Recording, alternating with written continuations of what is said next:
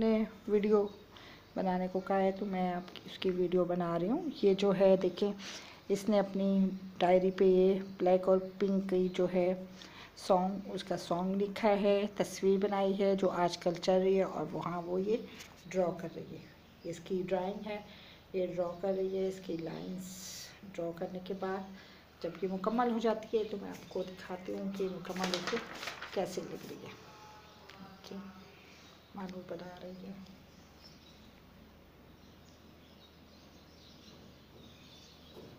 Video में आपको नज़र आ रहा होगा क्लियर वाह ऐसे लग रहा है रियल है एक गिटार क्लियर नज़र आ रही है ये देखें ये हार्ट बन रहा है और ये लाइंस इसकी हैंड की इसको क्लियर इसको डार्क करा जा शेड कर रही हैं। शेडिंग हो रही है।